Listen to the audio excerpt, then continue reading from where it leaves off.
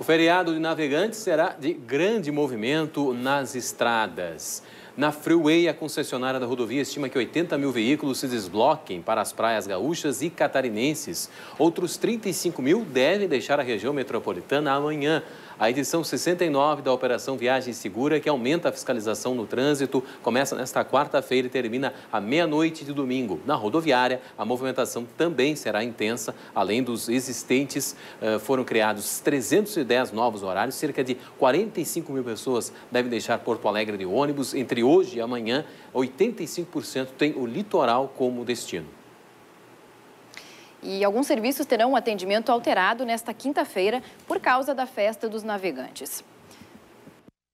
Todas as linhas de ônibus da capital funcionarão com passe livre.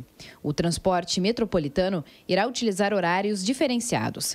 Do final da manhã até o início da tarde, o intervalo entre os trens terá 10 minutos. Entre as 10h30 e 11h30 da noite, 20 minutos. CE, Corsan e Ceasa, assim como todas as agências dos Correios, Banrisul e Tudo Fácil em todo o estado, retomam atendimento apenas na sexta-feira.